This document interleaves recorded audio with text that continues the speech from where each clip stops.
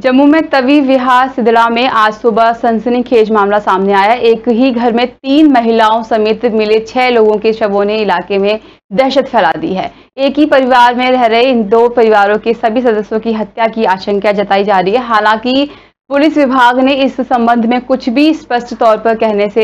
अभी परहेज किया है सबों को जम्मू राजकीय मेडिकल कॉलेज अस्पताल के सबगृह में रखा गया है पुलिस का कहना है कि पोस्टमार्टम की रिपोर्ट आने पर ही वो इस संबंध में बयानबाजी कर पाएंगे